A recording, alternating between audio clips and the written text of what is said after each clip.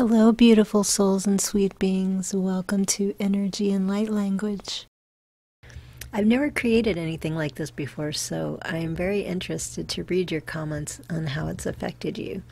Of course, there's no pressure to say it out loud if it doesn't feel right for you at this time. Reading it alone can also be beneficial, but saying it out loud is more powerful. You will receive whatever you require at this time it may be very subtle that you hardly notice it. It may be super strong that you feel it right away, or it might take a couple days to experience. But whatever you receive is what is best and right for you at this time.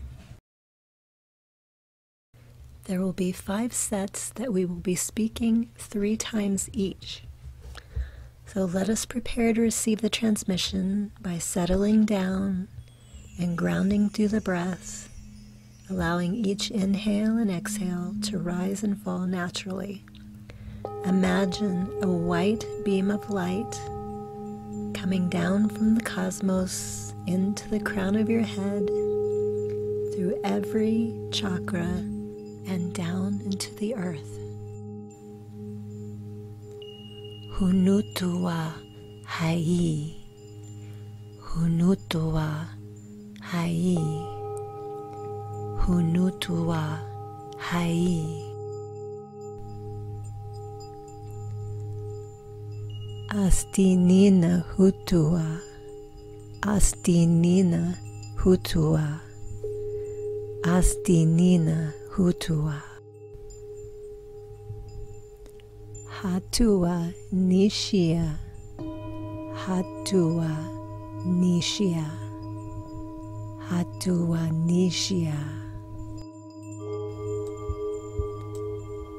Kutua ni'i hastawa.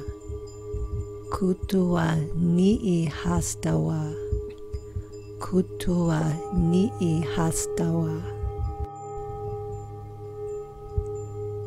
Kiainina utua. Kiainina utua. Kiainina utua.